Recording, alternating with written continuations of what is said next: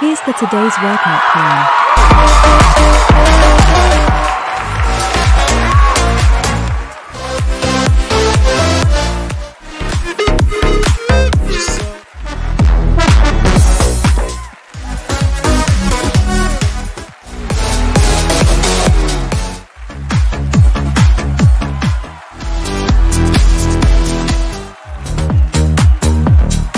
Let's burn some calories together.